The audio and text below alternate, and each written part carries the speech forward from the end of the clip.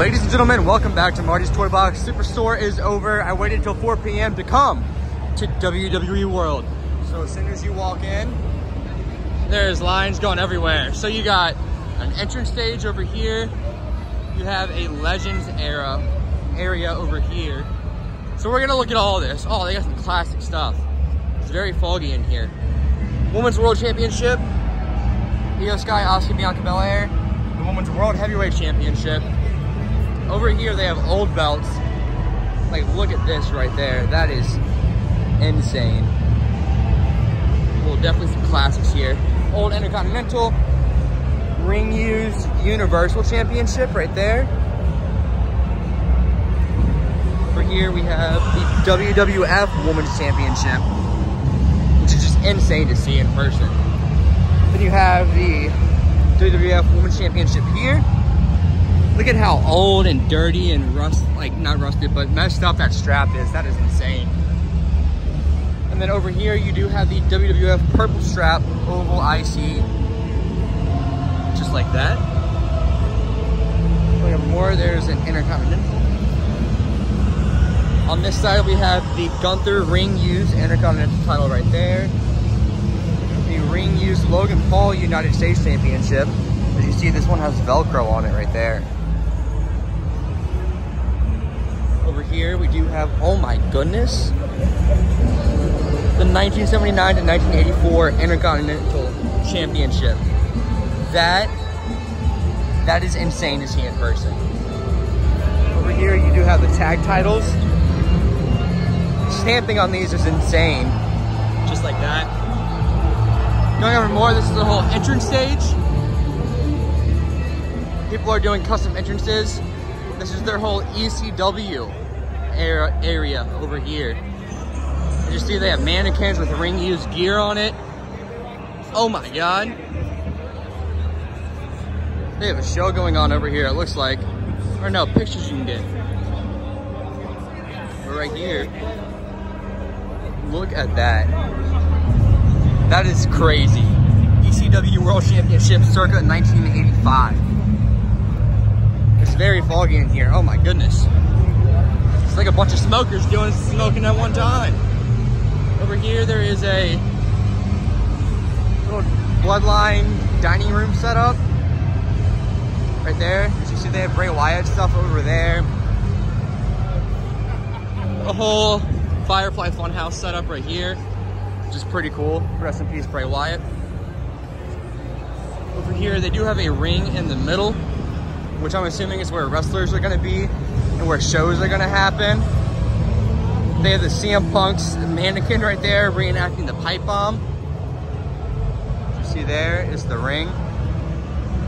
Over here, you do have the Hall of Fame class with mannequins of their ring used gear on each side. I really don't want to wait in these lines. Harley Race, Alundra Blaze, Jerry Lawler, everyone. This is their YouTube play button, which is kind of odd for them to have in here. Uh, let's see, I don't want to miss anything. Over here, they do have shooting going on. It looks like, oh, this is where they shoot uh, the Pat McAfee show at. That's pretty cool. There's a bunch of people sitting over here eating, stuff like that. There's a cafe over there. Over here, we do have a CM Punk mannequin once again. CM Punk uh, trunks on. You have images to take in front of the Judgment Day. Over here is, I don't even know what this is. They have a lowrider over here. Oh, this is sick to see in person. They have a lowrider right there. They have the Triple H on the throne from his WrestleMania entrance. Oh my goodness. They have C4s over here. I'm actually gonna grab one real quick. Let's cut. All right, my C4 is required. Look at that. These things are actually delicious. So you got the lowrider there. These lights don't look good on the camera. Over here, you do have the War Games cage. Which I kind of want to get into if I'm allowed to. I think I'm allowed to. Wow, so I am currently in the cage that uh, War Games happened in. That's That's pretty cool, honestly. All right, over here you do have the Rock race car right there. Oh my goodness. There's so much stuff out of the vaults for WWE in this. And this thing just goes on and on. I don't even know where to go because I missed stuff up front. We're gonna wrap around. Okay, we're doing this all in one take, baby. Over here, you have King of the Ring, gear, a whole Attitude Era section. You have beer coolers, Stone Cold, a truck, everything like that. Going over here, you have lines for what looks like meet and greets. I don't want to get in the line for that because screw that. There's a sea of people over there. Over here, they have popcorn and stuff. Person to keep walking. This is a whole stage for shows that are going on. That's probably where the Undertaker's Dead Man show is going to happen.